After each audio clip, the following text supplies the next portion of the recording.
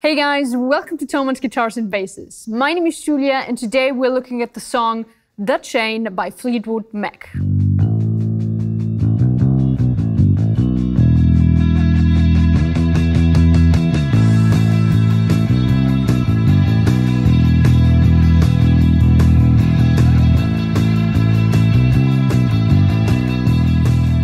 The song is from the album Rumours, released in 1977 the genre is rock, and the bass player is John McVie. He most likely played an alembic bass. I'm going to play this song on a Harley Benton JB75. To get the right sound for this song, it's important that your bass has bridge pickup to get that high-end punch. Since the album Rumours, Fleetwood Mac has been one of the most famous rock bands in music history.